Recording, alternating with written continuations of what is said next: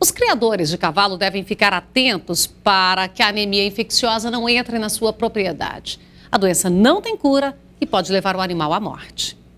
A anemia infecciosa equina é uma doença viral e não tem cura.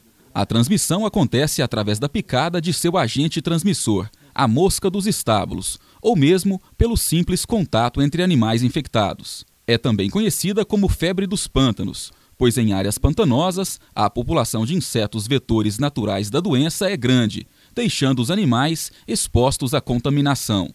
Ela é mais ocasionada em região mais alagada, que era no Pantanal, e depois foi migrando para cá. Já tem casos aqui.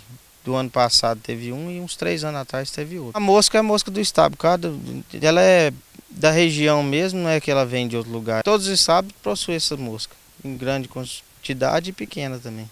A doença é infecto-contagiosa e caracterizada por febre e perda de peso. O vírus, uma vez instalado, permanece no organismo por toda a vida.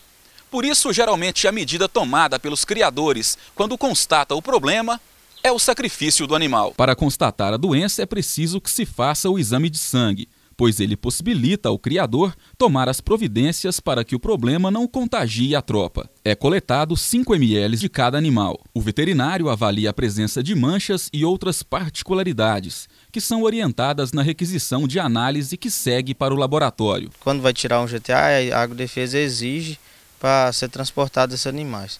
E para feiras agropecuárias, exposições, é exigido também, senão o animal não entra para evitar de levar animal doente. Então, com isso, evita de transmitir a doença para outros estados. Para o transporte, é exigida a guia. O chefe da Agrodefesa em Jataí explica sobre o documento e a importância dele para a sanidade da tropa e a segurança do criador. Todo e qualquer movimentação e transporte de animais, esta guia tem que ser emitida na agrodefesa. Essa guia é muito importante para poder provar qual é a origem dos animais. Né? Esta guia ela tem um custo de 20 centavos, no caso, por animal equídeo, né, por cabeça, e 10 reais por documento. Para o gerente desta fazenda, todos os cuidados possíveis devem ser tomados para evitar o contágio da doença. Ele acredita que a saúde dos animais está sempre em primeiro lugar. O ideal é fazer todos os exames antes da compra ou da condução para a propriedade é exame de anemia, em exame de mormo, para não trazer a doença para nós, né? para não contagiar o rebanho.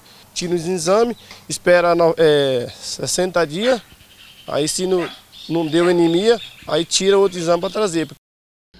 Essa doença, ela não tem cura, mas não significa também que todo animal vá morrer já com a doença, coisa imediata. Tem alguns casos em que ela apresenta de forma mais aguda, mais severa, mas a orientação é que quando detectada a doença, esse animal seja exterminado para evitar que contamine o restante da tropa. Porque se esse animal também, um vizinho, alguma autoridade sanitária souber que esse animal está doente, ele não pode ser utilizado mais, ele não precisa apresentar os sintomas da doença, mas se ele tiver com a infecção, ele não pode mais ser usado e ter contato com outros animais.